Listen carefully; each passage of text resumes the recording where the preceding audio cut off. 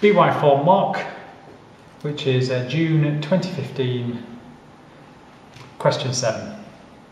So quite a chunky um, bit of text to read there and um, it's all about the, the synapse and the effect of these poisons on the synapse. So explain the toxic effects of the organophosphates and your knowledge of how this synapse works is going to have to come into this. But you can't just explain how a synapse works because that's not answering the question. So you need to explain the toxic effects of this. So you need to go, the question is really about ACH, acetylcholine, and what's the effect of this organophosphate on our ACH?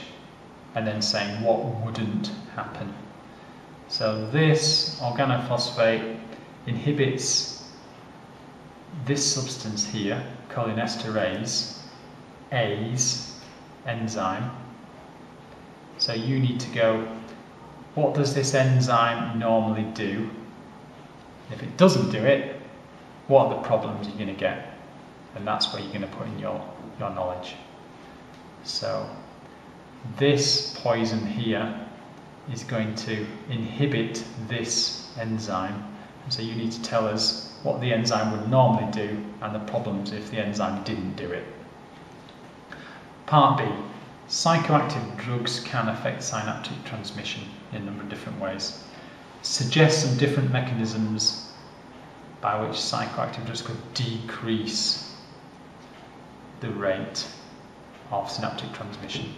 Four marks, so you need to say four separate things here.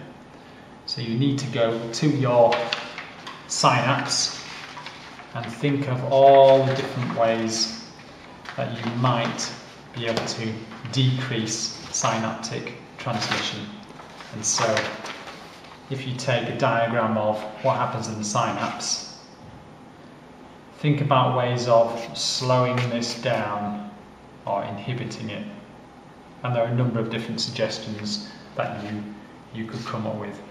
Um, things that, okay, if this didn't happen, for example, if a drug made it so this part didn't happen, then that would stop synaptic transmission. And I need to come up with various examples there. And they are going to give you a, a mark for naming one of the, the drugs as well, possibly as well, even though it doesn't ask that in the question.